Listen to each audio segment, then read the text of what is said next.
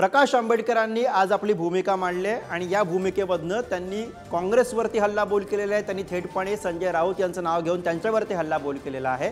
त्यामुळे एकूणच महाविकास आघाडीमध्ये आता सारं काही आलबेल नाही आहे हे म्हणायला पूर्णपणे स्कोप आहे. पण इथं प्रश्न असा पडतो की इतक्या दिवसांपासून या सगळ्या जागा वाटपाच्या चर्चा सुरू आहेत पण नेमकं घोडं अडलंय कुठे? प्रकाश आंबेडकर यांना असं काय हवंय? ज्याच्यावरनं हा सगळा वाद निर्माण झालेला आहे ज्याच्यामधनं आता तणाव वाढू लागलाय. पवन. गुरु गेल्या काही दिवसांपासून मवियामध्ये वंचित बहुजन आघाडीच्या समावेशाबद्दल साशंकता निर्माण झालेली आहे. प्रकाश आंबेडकरांच्याकडून म्हणजे वंचित बहुजन आघाडी हे प्रकाश आंबेडकरांचे मवियामध्ये सहभागी होण्यासाठी सकारात्मक असल्याचं आपल्याला वेळोवेळी त्यांच्या पत्रावरून आपल्याला लक्षात येते. मात्र गेल्या काही दिवसांपासून प्रकाश आंबेडकरांनी काही सभांमध्ये आधी महाविकास आघाडीतील मुख्य पक्ष असलेल्या काँग्रेसवर टीकास्त्र सोडलं होतं. काँग्रेसच्या काही नेत्यांना त्यांनी थेट टार्गेट केला होता. जसं इचलकरंजीच्या सभेत प्रकाश आंबेडकरांनी काँग्रेसचे काही नेते हे भुरटे चोर असल्याचा थेट गंभीर आरोपच केला होता. मात्र दोन दिवसाच्या आधी शिवसेनेचे नेते संजय राऊत म्हणजे शिवसेना म्हटलं तर संजय राऊत हे एक समीकरण जोडलेलं असते.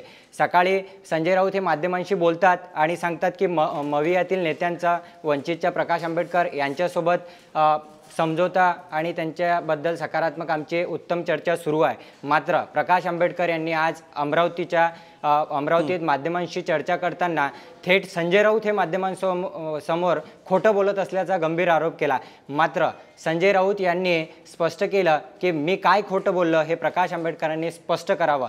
मात्र यावर प्र काँग्रेसच्या किंवा मवियातील कुठल्याही नेत्यांनी यावर प्रतिक्रिया देण्यास टाळलेलं आहे.